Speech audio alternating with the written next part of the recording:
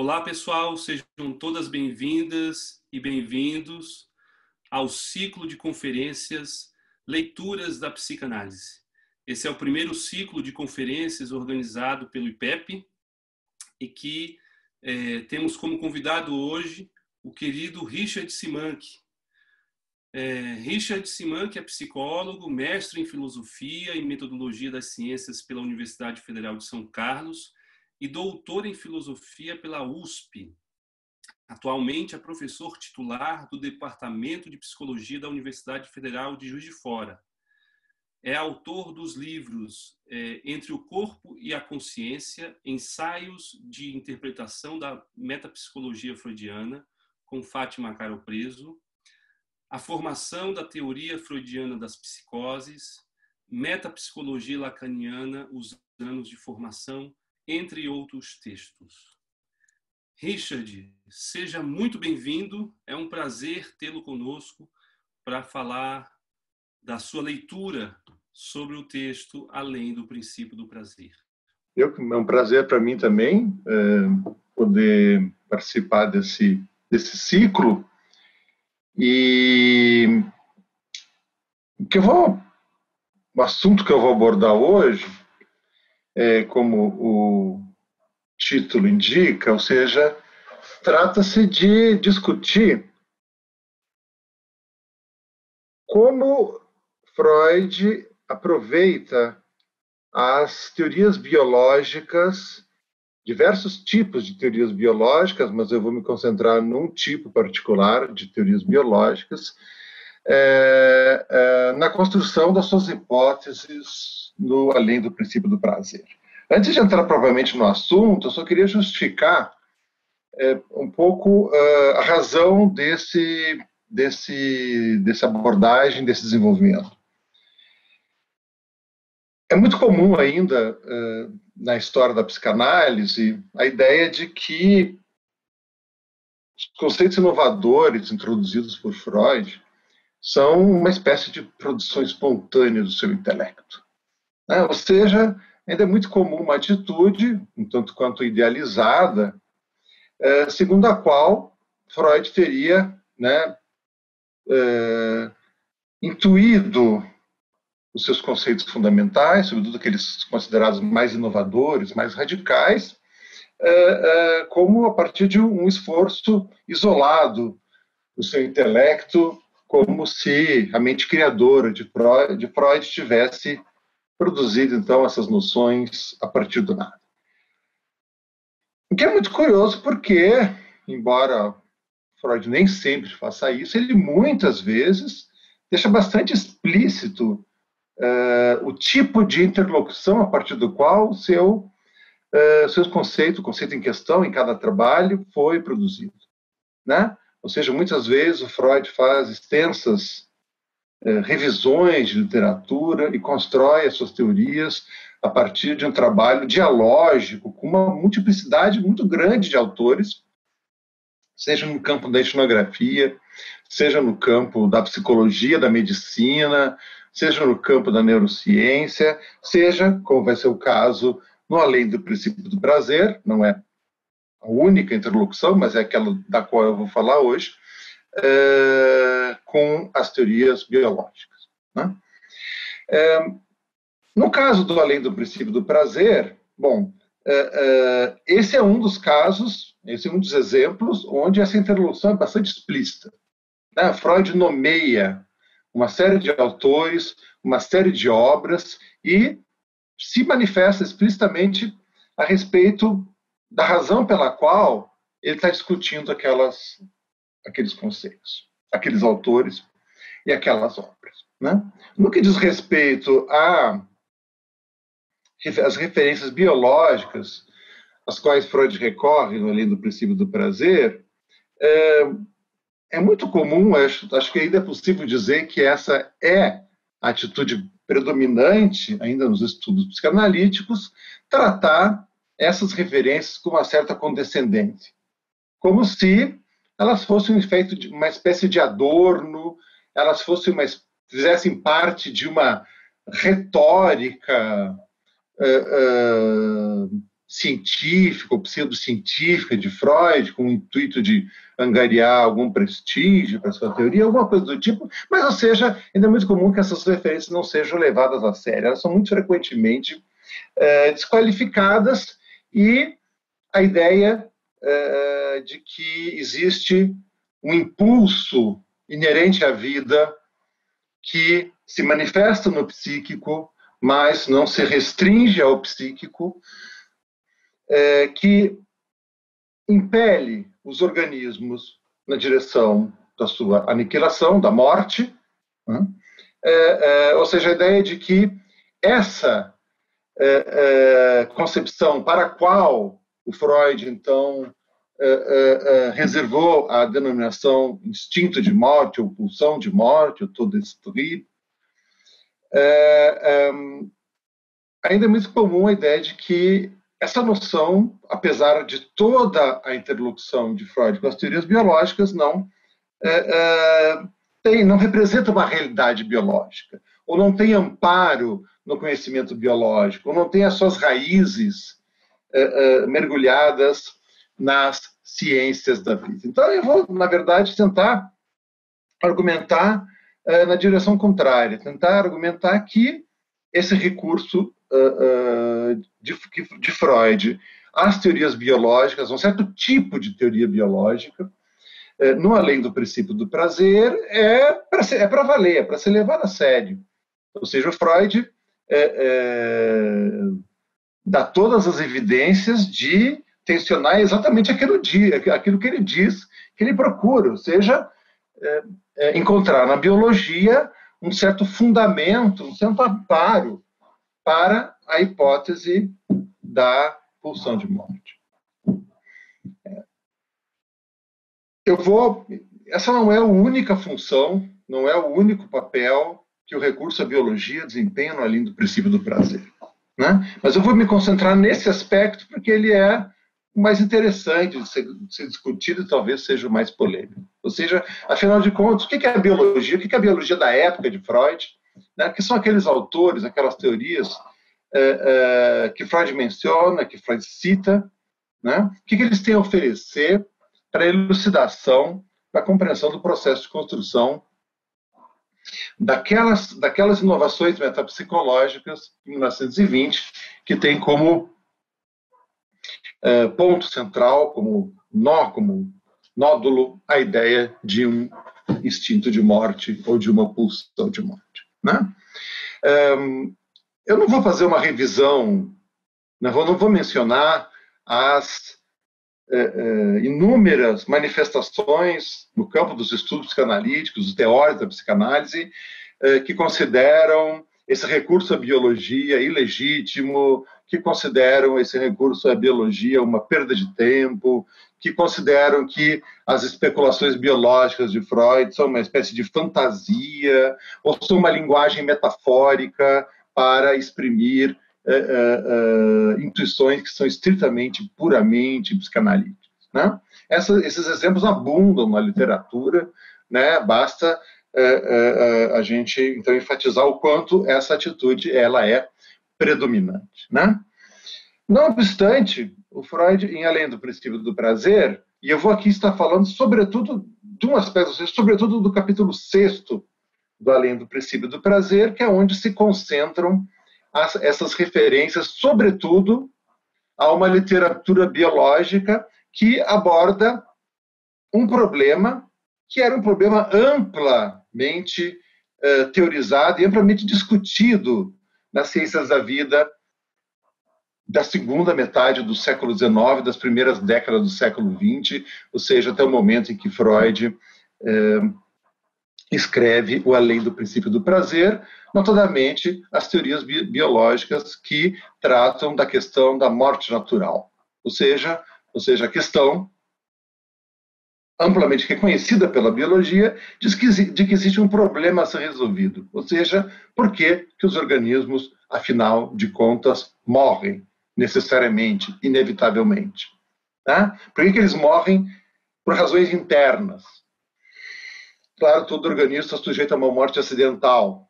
Os acidentes da vida podem levar à sua aniquilação. Mas, para além disso, Né? A biologia reconhece que todos os organismos sofrem também se eles escapam aos azares da vida e à morte acidental, em algum momento do seu ciclo vital, esses organismos perecem, né? os seres vivos perecem por causas internas. É um problema biológico da morte natural. Né? E do envelhecimento ou senescência, ou seja, a perda progressiva e gradual de vitalidade ao longo da vida, né? que acumula uma série de, enfim, de deficiências que acabam, ao fim e ao cabo, levando à morte do indivíduo. Ou seja, a biologia, há muito tempo, reconhecia que havia algo inerente à vida que impelia os seres vivos nessa direção. Né? E a esse tipo de discussão, a esse tipo de literatura que o Freud vai recorrer para procurar o amparo, uma justificativa eh, eh, para o seu conceito de uma pulsão de morte, para além daquelas evidências clínicas, psicanalíticas que ele veio coletando ao longo do texto. Basicamente, o que Freud faz do, do, do, do capítulo 1 ao capítulo 3 do Além do Princípio do Prazer é uh, uh, relativizar a centralidade do princípio do prazer, que tinha sido firmado até aquele momento, introduzir a noção de compulsão e repetição, recolher evidências clínicas para a compulsão à repetição, o jogo infantil, a, a, a neurose de destino, a transferência, assim por diante, né? E a partir do capítulo 4, quando começa a, a, a discussão propriamente metapsicológica no texto, né, onde Freud abandona esse ramo dos fenômenos que é, é, a partir dos quais as hipóteses são propostas e é, se dedica então à sistematização, ao trabalho propriamente conceitual, metapsicológico. Né? O Freud diz, ele abre o capítulo 4 do Além do Princípio do Prazer, dizendo o que segue é especulação, ou seja, o que segue é aquela elaboração metapsicológica de todas essas uh, evidências que tinham sido coletadas até esse momento e quase que automaticamente esse recurso à biologia uh, tem início. Né? O Freud constrói um, um, uma teoria Uh, uma espécie de filogênese especulativa do sistema nervoso para dar conta das relações entre percepção, memória, para dar conta do fato de que o organismo procura se manter uh, uh, tanto quanto possível livre de estímulos, né? Ou seja, dessa dessa elaboração aos poucos ele conduz a uma revisão da teoria das pulsões, né? E ao final do capítulo quinto, né? O Freud está com a distinção entre pulsões de vida e pulsões de morte, e até aquele momento ele considera que aquilo que anteriormente ele chamava de pulsões do eu, ou pulsões egóicas, são as pulsões de morte, enquanto que as pulsões sexuais seriam as pulsões de vida. Essa, essa conclusão vai mudar no final, no final do capítulo 6, onde Freud vai agrupar as, a, a, as pulsões do eu e as pulsões sexuais como pulsões de vida e vai tratar das atitudes destrutivas, das pulsões destrutivas e autodestrutivas, como sendo as manifestações da pulsão de morte, depois de passar por essa discussão das teorias biológicas. Então, na verdade, o meu objetivo é discutir essas teorias biológicas que o Freud apresenta no capítulo 6 e é, é, é, é, o capítulo 6 é uma espécie de curiosa de revisão de literatura a posteriori. Normalmente a gente, o Freud coloca a revisão de literatura no começo. Todo mundo coloca a revisão de literatura no começo. Né? A gente, quando vai fazer um trabalho acadêmico, coloca a revisão de literatura normalmente no começo. O Freud, né? quando o Freud escreve a interpretação dos sonhos, ele faz uma revisão de literatura no começo. Quando Freud escreve uh, uh, Totem e o Tabu, ele vai fazendo a revisão de literatura à medida que ele vai construindo seu argumento. A mesma coisa ele faz nos três ensaios para uma teoria uh, da sexualidade. No Além do Princípio do Prazer, curiosamente, ele faz toda a discussão clínica, metapsicológica, e quando chega no capítulo 6, ele faz uma espécie de revisão de literatura posterior. Assim, assim, vamos ver se a biologia tem algo a dizer a respeito. Talvez, né? Será que, será que todas essas noções, sobretudo, claro, a ideia de pulsão de morte, será que isso faz sentido do ponto de vista biológico? Né? É, é, é essa pergunta com que ele abre o, o capítulo 6 do além do princípio do, do, princípio do prazer. De fato, a gente sabe que na história da construção do texto, o capítulo 6, que é o último capítulo argumentativo do texto, o capítulo 7, o último, é um capítulo curto, que é uma recapitulação breve e conclusão. A gente sabe que o capítulo 6 foi o último capítulo a ser redigido por Freud e incluído na forma final do texto. Então ele é último, não só na série dos capítulos, mas também na ordem da composição do texto. Então, o que que, o que, que Freud encontra? O que que Freud procura, né? E o que que ele encontra nas teorias biológicas que se ocupam do problema da senescência, né?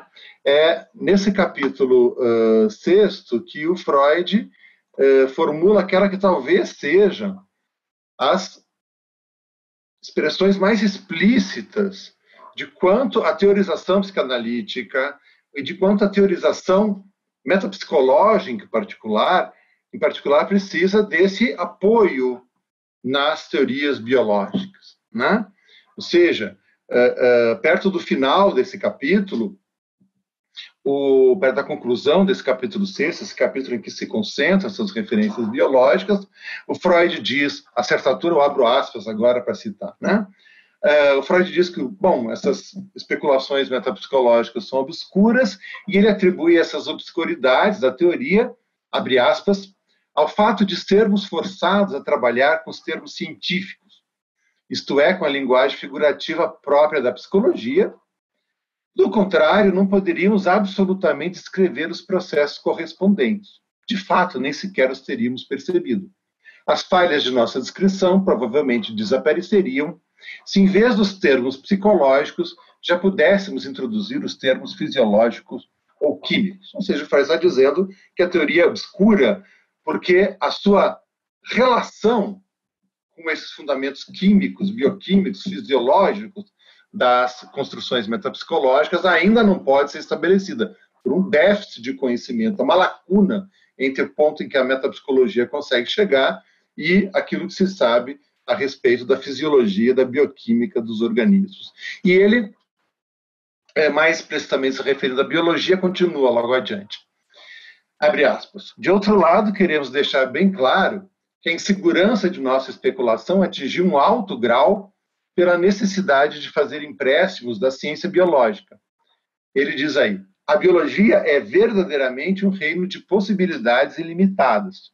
Dela podemos esperar esclarecimentos mais surpreendentes e não podemos adivinhar que respostas ela daria em algumas décadas às perguntas que lhe colocamos. Né? Ou seja, o que Freud está dizendo é que constatou, né, na minha, na, ele abre esse capítulo com a expectativa de que a biologia vá rejeitar a ideia. Né? Ele abre, na verdade, com a expectativa que é um pouco a atitude, digamos assim, da maior parte dos estudos psicanalíticos ainda hoje. Né? Não, essa, essa, essa ideia de um instinto de morte, de uma pulsão de morte, contradiz totalmente o conhecimento biológico, né? e, portanto, ele tem que ter um outro. Ou ele não tem sentido nenhum, então ele tem que ter um outro sentido. É, mas no metade do capítulo, Freud diz: não, a nossa expectativa de que a biologia né, uh, uh, uh, rejeitasse esse conceito não se cumpriu. Né? Ou seja, essa revisão de literatura que ocupa, sobretudo, a primeira metade do capítulo 6 do Além do Princípio do Prazer, mostrou que, sim, embora não haja um consenso, não seja possível ainda justificar plenamente o conceito metapsicológico de pulsão de morte pelo conhecimento biológico, a biologia, pelo menos, não refutou, não rejeitou esse conceito. Né? Do que, que o Freud fala, então? Quais são as teorias biológicas às quais ele recorre? Né? Ele recorre a um conjunto muito variado de autores, mas gira em torno uh, uh, uh, de um debate. Né? E esse debate é fundamentalmente o debate em torno das, concep das, das concepções do, uh, uh, do fisiologista, do uh, biólogo evolucionista August Weissmann a respeito do envelhecimento, da duração da vida e do problema da morte. E qual é o aspecto da teoria do Weissmann que o Freud está mais interessado? Né? Ou seja, lembremos que no começo, até o final do capítulo anterior, Freud está com a distinção entre pulsões do ego, que seriam as pulsões de morte, e as pulsões eh, sexuais, que seriam, então, as verdadeiras pulsões de vida. Né? Por que, que as pulsões do ego são pulsões de morte? Anteriormente, as pulsões do ego eram aquelas que visam a conservação da vida do indivíduo, enquanto as pulsões sexuais são aquelas que visavam a conservação da existência da espécie. Agora, Freud entende essa conservação da existência do indivíduo simplesmente como o fato de que cada a evolução de cada espécie constituiu um itinerário próprio, né, que leva o indivíduo do nascimento à morte. E, portanto, como ele diz, o organismo só quer morrer à sua maneira, né? E as pulsões do ego, né, agora uh, uh, representa então esse impulso em direção à morte específica que a evolução da espécie determinou para cada uh, tipo de organismo. Ou seja, o Freud está menos interessado agora no fato de que as pulsões do eu preservem a existência do indivíduo e ele meio que vê o negativo desse conceito de pulsão do eu, mostrando que as pulsões do eu impelem cada organismo ao, ao seu caminho específico rumo à sua morte final e derradeira. E por isso que as pulsões do eu vão aparecer então como pulsões de morte. O que, que a teoria do Weissmann tem a ver com isso? Né? Para o Weissmann, as uh, uh, teorias, uh, as células germinativas, elas são, em última instância, imortais. Né? Ou seja, o Weissman vai dividir essa divisão entre células somáticas e células germinativas para Weissman significa a divisão entre a parte mortal e a parte imortal da substância viva. Por quê? Porque as células somáticas morrem com o indivíduo, mas as células reprodutivas não morrem, elas dão origem a novas, a, a, novas células que vão produzir um novo organismo. Né? Então, o plasma, ou seja, essa ideia da continuidade, da perenidade, em última instância, da imortalidade do plasma germinal, é que interessa a Freud nesse contraste. Ou seja, Freud procura, Freud recorre ao Weissmann, porque ele procura fazer corresponder a divisão entre pulsões do eu, que são pulsões de morte, e pulsões sexuais, que são as pulsões de vida, a divisão do Weissmann entre o soma, que é a parte mortal da substância viva, e o germe, ou plasma germinal, que é a parte imortal da substância viva. Né? Então, essa é, essa é a razão do recurso. Né? Só que o Freud não vai falar só do Weissmann, o Freud vai falar de uma pluralidade desses autores, e o elemento comum é que, de alguma maneira, todos esses autores discutem, em algum grau, discordam ou convergem com as conclusões do Weissmann e, sobretudo, com a questão, é, discordam, discutem, divergem, analisam, debatem a questão, o problema da imortalidade do plasma germinal. Né? Muitos autores apontaram a inconsistência do recurso de Freud às ideias do Weissmann para justificar o seu conceito de pulsão de morte. Por quê? Porque o conceito de pulsão de morte parece querer representar um impulso inerente à vida, que se manifesta no psiquismo, né? É, um impulso inerente à vida, à sua própria destruição, e, portanto, parece pressupor a morte como um fenômeno primitivo, portanto, organicamente, essencialmente vinculado à natureza mesma da vida. Né? Quando a vida surge, ela já surge como algo fadado à morte, e universal, ou seja, todos os seres vivos morrem. Então, a pulsão de morte parece representar no psiquismo, na dinâmica do funcionamento do aparelho psíquico, essa tendência inerente à, vida, inerente à vida enquanto tal. Ou seja, a morte é uma característica primitiva, originária da substância viva e a morte é uma característica universal da substância viva. Qual é o problema disso? É que justamente para o Weissmann, né, a morte ela não é nem primitiva e nem universal. Né? Ou seja, por isso muitos autores, do lado da filosofia, do lado da, da, da, da, da biologia, vão criticar esse recurso a Freud como ilegítimo, como equivocado, porque justamente o Freud está postando as suas fichas no autor que, em última instância, argumenta que uh, uh, na direção contrária daquilo que Freud quer provar, que existe um impulso inerente à vida que se manifesta na vida mental como pulsão de morte, que está, que está vinculada à própria natureza da substância viva, que impele universalmente e originariamente os organismos vivos em direção à sua morte, enquanto que o Weissman diz o contrário. Por que, que ele diz o contrário? Bom, porque ele diz, para começar, que a morte não é originária. A morte é uma adaptação que surgiu ao longo da evolução das espécies. Né? O Weismann procura se afastar daquelas teorias vitalistas que consideram que, que se preocupam em identificar qual é a essência do fenômeno vital e identificam entre as características essenciais do fenômeno vital uma tendência inerente, intrínseca e, portanto, uh, uh, originária à sua própria destruição, ao seu próprio fim, ou seja, a morte. Né? Freud se afasta, o Weissmann se afasta dessas teorias e vai procurar explicar darwinisticamente a evolução da morte. Né? Ou seja, a morte ela evolui a partir de uma. Basicamente, a morte é uma adaptação que surge, que é correlativa ao surgimento da vida pluricelular. Né? Por quê? Aí entra o outro aspecto: a morte não é universal, não é universal uh, para Weissmann. Por quê? Porque os seres unicelulares não morrem, eles são imortais. Por que, que eles morrem? Porque eles são constituídos numa única célula. Então, nos seres unicelulares não existe aquela divisão entre as células somáticas mortais e as células uh, germinativas, uh, uh, o plasma germinal imortal. Por quê? Porque um ser unicelular, um protozoário, um protista, como Freud usa o vocabulário do, do, do, do Haeckel, né, protista, para designar seres unicelulares,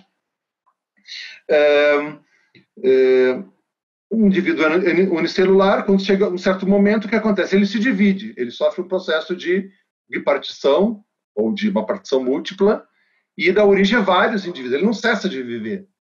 Né? Ou seja, a reprodução, ele se reproduz, e ao se reproduzir, ele dá origem. Não tem nenhuma célula puramente somática para morrer o indivíduo. O indivíduo se divide em novos indivíduos que continuam vivendo. Né? Então, os protozoários, os seres unicelulares, são imortais do ponto de vista do Weissmann. Né? E é só a partir do momento que a vida pluricelular surge que se torna não adaptativo, não, não compensa na relação custo-benefício manter a imortalidade geral de todas as células. Então, aquelas células que não servem para reprodução morrem com o indivíduo.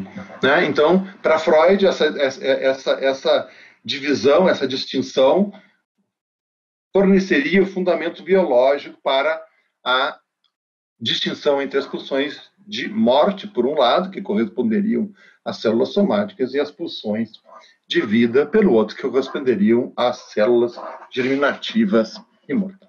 Né? Uma série de autores é, é, é, eh, discutiu, questionou essas ideias do Weissman, são justamente a esses autores que o Freud vai recorrer. Ou seja, Freud está perfeitamente ciente desse problema. Ele o enuncia, ele o reconhece. Por um lado, Weissman serve à perfeição ao seu objetivo de encontrar um fundamento biológico para a nova teoria funcional, na sua, sobretudo na sua distinção entre soma e germe, entre células somáticas e células germinativas, mas tem o problema, né, para Weissmann, a morte não é uma característica originária, essencial é, é, e nem universal da vida, da substância viva. Como a ideia de uma pulsão de morte pareceria requerer. Né? Freud sabe muito bem disso e ele vai procurar justamente recorrer aos críticos, aos, aos autores que eh, eh, debatem as teses eh, do Weissmann para munir-se de contra-argumentos, né? Ou tentar, basicamente, depois de estabelecer que a distinção entre soma e germe é a mais promissora para fornecer um fundamento biológico para a nova teoria das pulsões, o Freud vai procurar neutralizar o elemento indesejável dessa teoria, ou seja, a ideia da imortalidade dos uh, uh, seres unicelulares, que, é, que, que é, vai de mãos dadas com a ideia de que a morte é uma adaptação tardia e correlativa à evolução da vida e correlativa à evolução da vida pluricelular. Quando então as células somáticas começaram a morrer com o indivíduo e apenas as células uh, germinativas, apenas o plasma germinal preservou a imortalidade originária originária da vida. Né? Essa é uma razão pela qual a gente pode até achar curioso o fato de que Freud discute tanto a questão dos protozoários. Por que Freud fala tanto de protozoário?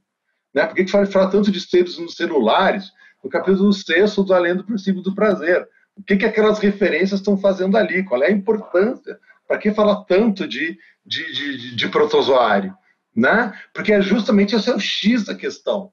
Porque se Freud puder, pelo menos, colocar em dúvida a tese da imortalidade potencial dos seres unicelulares, e ele recorre a quase todos os outros autores que ele recorre, são autores que de alguma maneira questionaram uh, essa tese, então ele poderia uh, preservar apenas a parte que o interessa da teoria do Weissmann e rejeitar. Ou seja, seja Freud está perfeitamente uh, consciente o tempo todo do problema que o recurso às teses do Weissmann é, é, é, representa. Então, todo o segundo texto do, do Weissmann que o Freud discute, o texto sobre a vida e a morte, o texto de 1884, ele é todo ele uma longa resposta do Weissmann, na verdade, às críticas que tinham sido endereçadas ao primeiro estudo ao estudo uh, de 1882, chamado Sobre a Duração da Vida, pelo, por um outro biólogo chamado Alexander Goethe, que em 1883 tinha tido uma crítica, né, chamada sobre, tinha escrito um texto chamado Sobre a Origem da Morte, em que ele critica, em que ele critica as ideias do Weissmann e, sobretudo, a tese da imortalidade do plasma germinal, a tese da imortalidade potencial dos seres unicelulares. Eh, escrever esse texto especificamente para se opor às ideias do Weissmann, mas para o Goethe a, a, a, a, a morte eh, coincide com a reprodução, ou seja, se o Weissmann dizia o protozoário não morre eh, porque quando ele se reproduz, ele se divide e dá origem a dois novos indivíduos que continuam vivendo, o Goethe vai dizer, não, para o protozoário, para o ser no celular, a morte coincide com a reprodução. No momento que se reproduz, o indivíduo deixa de existir como tal e dois novos indivíduos passam a existir. Então, nesses casos, não é que o, o, o ser no celular é imortal, mas é, é, nesses casos a reprodução coincide com o momento da morte, ou seja, o ser, o ser, esse ser morre no exato momento em que ele se reproduz. Né? O que está em questão aí, os, os resenhistas da época que, que, que é, é, avaliaram esse debate perceberam muito bem, são conceitos diferentes sobre o que é a vida e sobre o que é a morte, sobre o que é um indivíduo. Né? Para o Goethe, a morte é o fim da existência individual. Né? Para Weissmann, a morte é o, o cessar de toda atividade vital. Né? Como disse o Weissmann várias vezes, não existe morte sem um cadáver. Se não tem cadáver, não tem morte. No caso do protozoário não tem cadáver, então não tem morte. Então, ou seja, a discussão é teórica, não é empírica. Os resultados são os mesmos, é a interpretação dos resultados que está em questão. Né? E, portanto, o Freud vai uh, recorrer a esses autores como o Goethe para mostrar que uh, um, as teses do Weissmann, por mais consagradas que elas fossem, elas eram ponto de referência, nenhum dos autores que Freud menciona deixa de, em alguma medida, debater com Weissmann, né?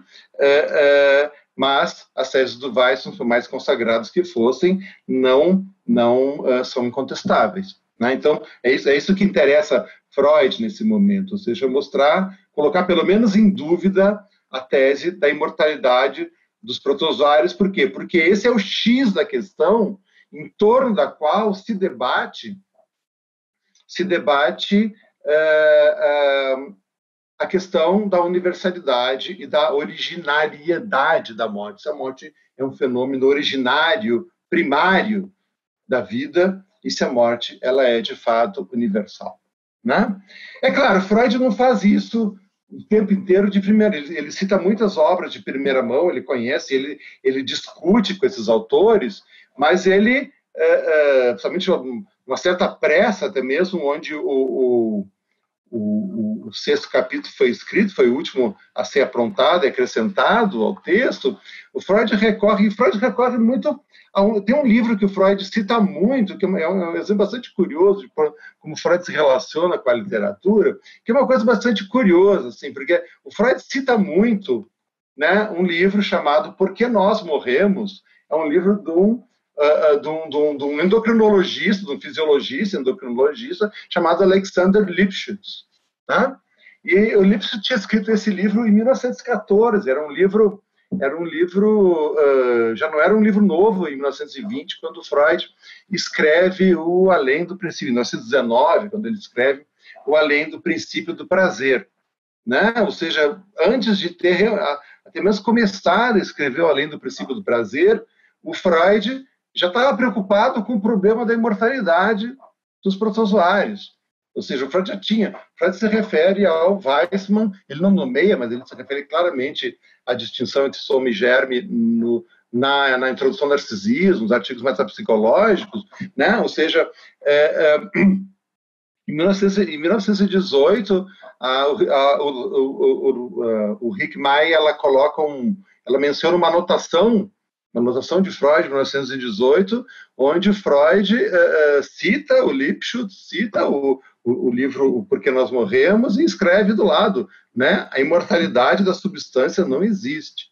Não, ou seja, ele já estava, antes de começar a ler o princípio do prazer, preocupado com a questão da imortalidade dos seres unicelulares, pensei, toda essa questão, então, da qual acaba gravitando a discussão no capítulo 6 do Além do Princípio do Prazer, porque justamente é o campo de batalha onde se trata. É, o, o Lipschutz vai discutir, o Lipschutz é um crítico do Weissmann, ele vai, ele vai é, construir argumentos para rejeitar essa tese da imortalidade, né? E é, boa parte, sobretudo com a parte dos estudos experimentais a respeito, né, o Freud vai se basear na leitura do Lipschutz. Isso é até curioso, porque quando a gente lê o Além do Princípio do Prazer, o Freud cita um monte de autores só pelo sobrenome e não dá e não dá nenhuma referência bibliográfica. A gente fica até, mas quem é esse cara que o Freud está citando, né? O Freud está se baseando inteiramente no Lipschutz e o Lipschutz, ele faz, no, no Porquê Nós Morremos, o Lipschutz faz exatamente isso. Porque como é um livro de divulgação, ele não está preocupado em dar referência bibliográfica de tudo. Então ele fala sempre, ah, o francês Maupin, né, o americano Woodruff, né, o americano Calkins, né, e, ou seja, ele, ele, ele menciona os cientistas assim pelo, pelo sem dar referências, né, e o Freud se refere exatamente da mesma maneira. Então é por isso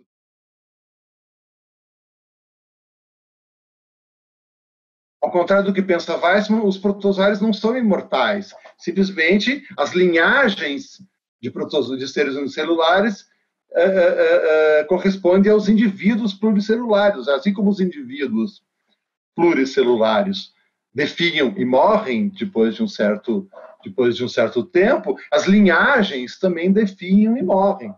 Né? Então não há imortalidade. A imortalidade se você considera apenas a, a, o indivíduo tem um momento da sua divisão, mas se você considerar todos os, os clones que se formam daquele indivíduo, não, esse, esse, esse, é, é, é, essa linhagem, ela, em algum momento, ela, ela apresenta sinais de decadência, de senilidade, de senescência e morrem. Outros fizeram os mesmos os mesmos uh, uh, estudos e mostraram que não, na verdade, as linhagens conservam a sua vitalidade. Né? O Mopar, o francês, que o Freud, com o qual, qual, qual aliás, discute eh, e critica muito nos seus textos, o Woodruff, que o, que o, o, o Laurent Woodruff, que o Freud cita a partir do Lipschutz, seria, foi o cara que cultivou linhagens de Paramécio Aurélia em laboratório durante 19 anos, não sei quantas mil gerações, argumentando que eh, não, havia, não, não, não, havia nenhum sinal de perda de vitalidade. Né? Há uma diferença metodológica. Alguns autores, uns autores eh, alguns, alguns cientistas mantinham os organismos no mesmo caldo de cultura, que esse contaminando os resíduos metabólicos e os indivíduos definhando, outros trocavam o caldo de cultura. E se você troca o caldo de cultura regularmente, de fato a linhagem não apresenta sinais de senescência. Então a discussão volta a ser teórica, ou seja, se, se é, é, essa situação artificial de laboratório, né? onde, na qual o experimentador pode, de fato, uh, uh, uh, trocar o meio de cultura regularmente, com frequência, fornece evidências da tese da imortalidade, que afinal é a tese da imortalidade potencial. O Weissman sabe que, por uma série de razões, os organismos celulares morrem o tempo todo, mas o argumento dele é que eles são potencialmente imortais, e essa situação mesmo artificial de laboratório serviria para mostrar a imortalidade, demonstrar a tese da imortalidade potencial, né? Ou então, outro argumento que essa é uma situação artificial cujas conclusões não podem ser extrapoladas para as condições naturais de vida nos organismos, onde as linhagens, as linhagens de seres nos celulares inevitavelmente definham e morrem depois de um certo tempo, eh, eh, assim como eh, qualquer outro qualquer outro ser vivo. Então, se Freud discute tanto essas questões que são aparentemente a anos-luz de distância das preocupações clínicas e mesmo das elaborações metapsicológicas que estão em questão, é justamente porque porque essa discussão é crucial para o recurso que Freud espera poder fazer, porque Freud faz as teses de Weissmann uh, uh, uh, sobre a duração da vida, sobre a evolução e sobre a evolução da morte como uma forma relativamente tardia e secundária de adaptação que se explica por seleção natural como qualquer outra característica dos organismos. O Freud não estava discutindo com uma série de pessoas desimportantes ou excêntricas ou situadas na periferia da comunidade científica. Não, eram autores renomados, relacionados às mais, às mais importantes instituições de pesquisa, com currículo acadêmico irretocável, especialistas reconhecidos nas suas áreas, que estavam discutindo essas questões. Né? E a conclusão de Freud é, bom, veja bem, a conclusão ela é, é, é, ela fica em parte em suspenso. Por quê? Porque ainda não há consenso na biologia a respeito do problema da natureza da morte, da explica... Na verdade, de certa maneira, não há consenso até contemporaneamente, a discussão permanece aberta. Mas é uma discussão científica e biológica perfeitamente legítima e amplamente reconhecida como tal. Né? Então, a gente não tem por que é, imaginar que o Freud está fazendo um uso meramente retórico, periférico. Né? O Freud tem a percepção de que essa discussão é fundamental para a inovação metapsicológica que ele está querendo que ele está querendo que ele está querendo introduzir nesse texto. Né? E quando ele afirma que a, a metapsicologia requer, precisa, para esclarecer o sentido dos seus conceitos, está apoiada, fundamentada, enraizada no conhecimento oriundo das ciências da vida, a gente tem todas as razões para é, é, é, assumir que o Freud quer dizer exatamente isso que ele diz. Né? Ou seja, que, que essa é uma afirmação para ser levada a sério. Ou seja, que o Freud espera né, vir desse lado, ver uma, um apoio para as teses metapsicológicas. Né? Isso não quer dizer, não quer dizer que o conceito de pulsão de morte de, seja um conceito biológico, não é um conceito biológico, ele é um conceito metapsicológico. Ele foi formulado a partir de uma argumentação tipicamente psicanalítica. Ele foi justificado pela sua necessidade teórica, pela consistência com as outras noções teóricas com as quais ele se articula. Ele foi justificado pela sua adequação empírica, pela sua capacidade de explicar os fenômenos clínicos observados ele foi justificado pela sua aplicabilidade clínica, ou seja, você tem em mente esse conceito, você tem uma, você vê uma outra maneira, de outra maneira, a, a, intervenção psicanalítica. Então é um conceito metapsicológico, não é um conceito biológico, né? Mas é um conceito para cuja elucidação, para além do ponto onde a psicanálise, a metapsicologia pode efetivamente avançar,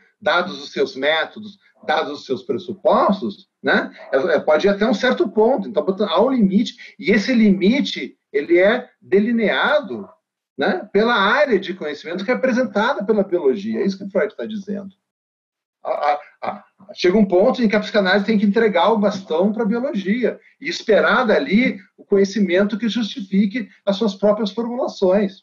É isso que ele está querendo dizer. Né?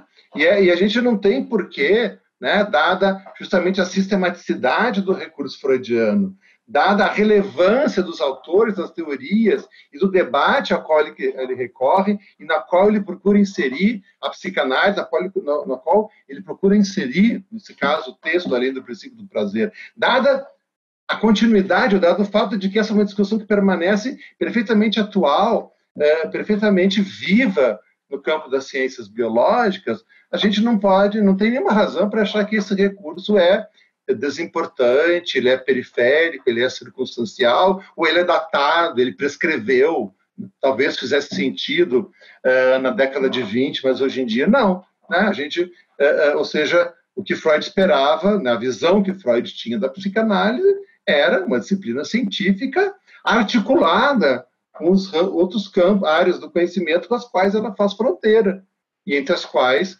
ele concede uma relevância bastante enfática, bastante importante às ciências biológicas. Eu só queria uh, uh, passar a ideia de que o recurso à biologia, além do princípio do prazer, é uma parte central, nuclear, participa do esqueleto argumentativo do texto, não é circunstancial, não é retórico, não é periférico, não é um adereço, não é um ornamento do texto que possa ser descartado sem perna. Muito bom. É, eu vou, para a gente não se alongar muito, é, eu vou fazer duas perguntas uh, a respeito, uma a respeito desse contexto científico. Uh, Richard, há alguns anos você escreveu, bom, você escreveu alguns artigos sobre isso, mas um especificamente é, falando sobre uh, o desejo de Freud a respeito de que a psicanálise se tornasse uma ciência e uma ciência natural, da partir da perspectiva de Freud, ele deixa isso textualmente é, de cabeça. Agora eu me lembro de dois textos: a história do movimento psicanalítico de 1914 é, e depois na autobiografia em 1925 ele diz isso, o que é a psicologia, se não a ciência natural. Uh, mas você, é, nesse texto, você faz um, um, um, sublinha uma coisa muito interessante. Você diz assim, mas o que que o Freud pensava quando estava pensando em ciência natural? Ao hum. modo do Freud, é, para pensar, para aproveitar e pensar esse contexto desse debate que o Freud coloca em 1919, 1920, nem além do princípio do prazer, é, esse método é o método freudiano, é a forma como Freud pensava a ciência natural e que é a, a forma de interlocução que a psicanálise deveria ter com a biologia, no caso?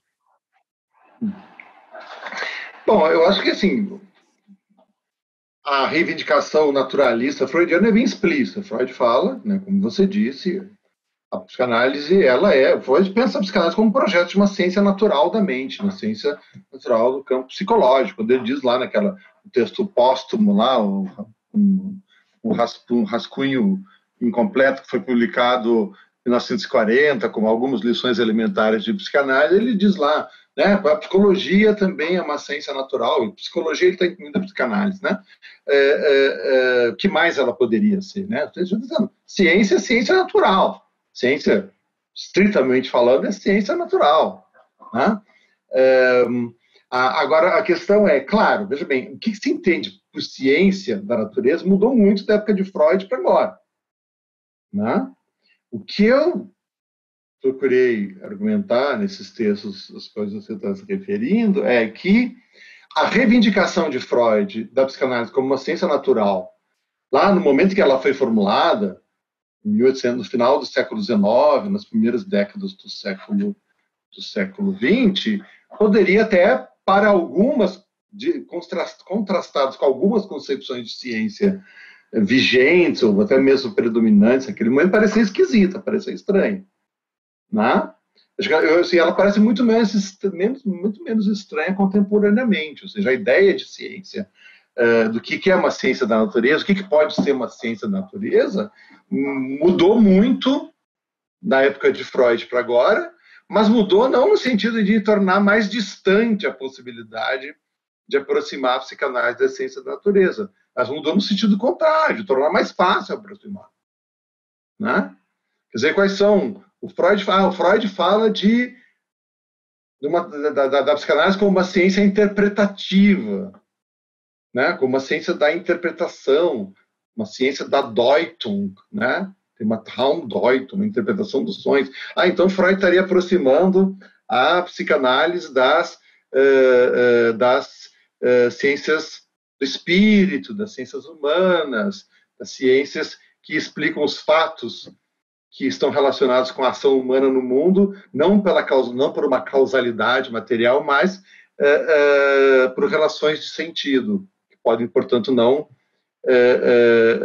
podem ser compreendidas, interpretadas e compreendidas, né? Aí isso não tem nada a ver com ciência da natureza. Hum, Hoje em dia você tem muitos paradigmas dentro das ciências da vida mesmo, a biosemiótica e, e, e com certeza são duas dos mais importantes, que não vem essa diferença. Tem muitos modelos que procuram, muitos modelos teóricos, muitos modelos epistemológicos que procuram justamente ultrapassar essa distinção entre é, uma, ciências históricas, ciências do sentido, ciências do espírito, ciências humanas e as ciências da natureza. Aquilo que talvez na época lá fosse uma distinção mais taxativo, pelo menos num certo contexto filosófico, né, uh, que era relativamente próximo, próximo a Freud. Então, na verdade, eu acho essa aproximação talvez até fosse mais difícil de fazer na época, né? Então, eu acho que, inclusive, que um dos interesses que uh, uh, considerar a obra freudiana desde essa perspectiva, considerá-la como um projeto de uma ciência natural da mente, é fornece elementos para participar dessa discussão do que, que significa hoje em dia ser uma ciência da natureza, né? que talvez não signifique certos programas epistemológicos para as ciências da natureza, que eram hegemônicos na época de Freud, prescreveram, os tornaram bem menos centrais, e talvez a, a visão eh, de ciência da natureza hoje seja mais facilmente, a psicanálise possa mais facilmente se integrar ali do que era no século XIX, no século, no comecinho do século XX. Então, acho que, na verdade, eu acho que é um interesse que tem considerar a obra freudiana com um olhar contemporâneo, assim, né? ou seja, ver o que, que tem na obra freudiana que pode ser útil para uma discussão que é uma discussão contemporânea, ou seja, o que, dado o estado atual do conhecimento científico, o que, que significa ser uma ciência da natureza hoje? Richard, eu ouvi você falar em alguns momentos instinto de morte, pulsão de morte. Uhum. Em 2014, você escreveu dois textos, dois artigos, uhum. ou seja, um artigo em duas partes, uh, dizendo tribe como instinto. Uhum. O porquê dessa distinção? O que que, o que que você pensa dessa distinção? É, na verdade, eu estou usando os dois termos indistintamente para justamente para não entrar não entrar na polêmica da questão de tradução, que é todas essas coisas, né? A questão de tradução não me manifesto, porque eu não sou um germanista, então eu não tenho capacidade de discutir as questões linguísticas, semânticas envolvidas, né? É, é, eu fico só no plano, no, no, no, plano da significação dos conceitos. Aqueles textos de 2014, a única coisa que eu tentei fazer ali era dizer, olha, você pega assim, ó, um, uma das justificativas, a questão da tradução era secundária já ali. É, é, é, uma, mas o argumento era mais ou menos o seguinte: uma das justificativas para dizer, olha, tem que ser pulsão, não pode ser instinto, é porque é, os conceitos metapsicológicos sobre pulsão sexual, sobre a pulsão de morte, não tem nenhuma relação, nenhuma correspondência, nenhuma significação biológica. Eu procurei mostrar não. Né? Se, é, se é por isso, não justifica, porque uh, uh, o que a gente vê é a gente reencontra nas teorias biológicas uh, as teses freudianas. Assim como a ideia de um, uma pulsão de morte, dizer, a pulsão de morte não faz nenhum sentido né, é, do ponto de vista biológico, por isso, por isso tem que chamar de pulsão e não de instinto de morte. Né? É, não, pode haver várias razões para você preferir a, a, a, denominação pulsão em vez de instinto de morte. Mas a razão de que esse conceito, se todo esse trip freudiano, não tem nada a ver com a biologia, não, essa não é uma razão. Porque como com as teorias que o Freud discute na linha do princípio, mostra que o Freud está sendo uma discussão que tem tudo a ver com a biologia, uma discussão que tinha, que na história da biologia precede muito a Freud e que continua atual até hoje. Richard Simanki, hum. muito obrigado pela sua participação nesse primeiro ciclo de conferências organizado pelo IPEP. Acredito que a sua contribuição ela é muito valorosa para todos nós. Agradeço de coração, meu querido. Tá bom, eu que agradeço a oportunidade. Né? Espero que tenha deixado mais ou menos claro, porque tem. É mais, os detalhes são mais. A ideia geral é interessante, mas os detalhezinhos pitorescos são os mais, são os mais interessantes de todos.